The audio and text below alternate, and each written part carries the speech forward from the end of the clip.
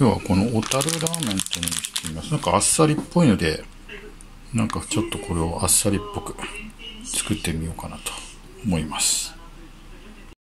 はい、できました。小樽のラーメンですね。函館かと思った。小樽ですね。塩系ですね。あっさり系。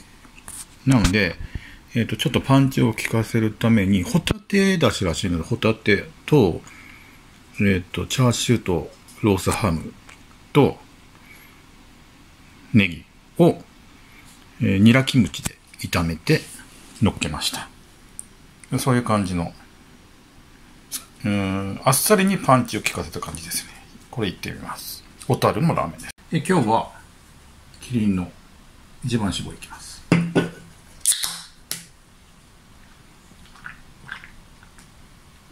美味しい。めちゃくちゃうまいです。じゃあこの小樽のラーメンですね。あっさりっぽいんですが、まずスープをいってみますよ。すごいうまい。塩ですね。めちゃくちゃあっさりですよ。麺いきます。熟成麺の乾麺ですね。うまい。やっぱりこれは日本の技術ですよね。うまいですよ。じゃあですね、具をね、具のところいってみます。これはですね、ネギとかチャーシューをニラキムチで炒めたんですよね。で、いってみます。これ一気に香ばしくなりますてうまっ。思いっきりパンチが出ますね。美味しいです。このネギ炒めも。ああ、温まるね。寒いし。ホタテです。あ最高ですよ。これは、めちゃくちゃうまい。最後に、ネギと一緒にいきたいと思います。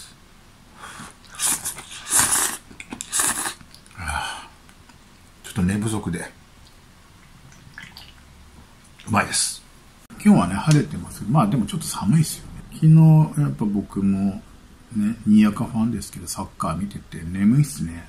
よく勝ちましたよね、本当。なんか寝ながら見てて、見ようか見まいかちょっと、どうせダメだろうと思ってたんで、迷ったんですけど、でもまあ一応4時に目覚めちゃったんで、見てて、前半戦でも、これは完全に負けたなと思ったんですけど、で、ちょっと目閉じてたら、後半戦になってすぐゴールってなったんで、堂安ゴールってなったんで、えと思って、入れたの？と思って、たらまたすぐ入れてるじゃないですか。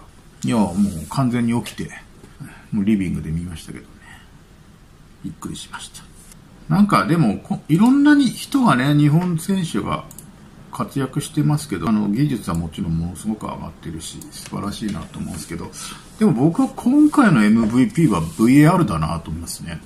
VAR が出たことによって、あれの判定によって日本は救われてるのがドイツ戦も、スペイン戦もね、VAR の判定がなきゃ、ドイツ戦で2点目入れ入れられたし、そしたら終わってたし、今回のスペイン戦もね、あの三笘のね、ライン割ってるかどうかって、あれ普通に考えたら終わってるって判定ですけどね。でも VAR 見て、もう1ミリぐらいかすってるっていうのでなってるから、もう救われてるなと思ってて、もちろん実力もめちゃくちゃあるんだろうけど、運も味方してるなっていうのが、まあ、VAR ですかね。やっぱテクノロジーの力が入ったことが今回大きいなと思ってますけどね。これはあの、8、えっと、12月8日にメンズノンノが発売なんですね。佐藤健君が表紙ですよね。コート、あ、そう言ってましたね。シュガーでね、コート中心だって、コートしかやらないって言ってましたね。ここ数年僕が出演している男性ファッション誌はメンズノンノだけ。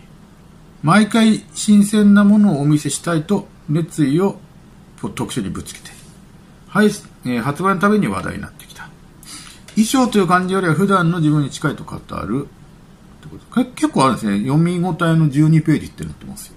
まあこれも買ってみようかなと思うんですけど。インタビューでは結構、まあそうね、ファーストラップの話でしょうね。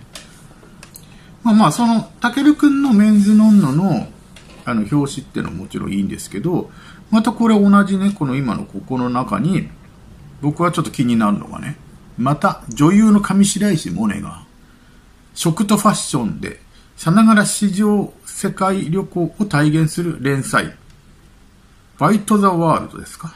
がスタートする。まあ、連載ってことなんですかね。要するに、このまた一つの中にさ、竹漏れがいるっていうのを僕はね、何よりもね、え嬉しいですよ。佐藤健くんの話があって、萌音ちゃんの名前が出るっていうのね、同じこう、ページの中にあるっていうだけで、竹森が共演してるみたいでいいなと思って。